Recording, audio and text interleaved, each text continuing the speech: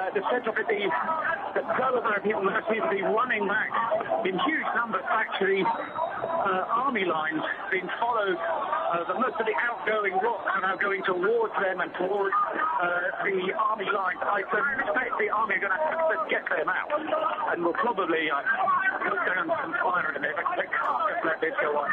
It will go on forever.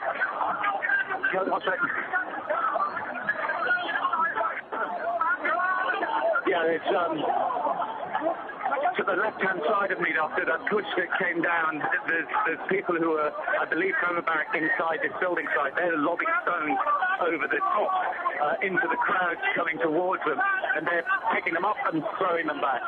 Yeah, more inches now. People walking past, cuts on their eyes, uh, lots of head injuries, but they appear now to be moving fast forward towards towards the tanks.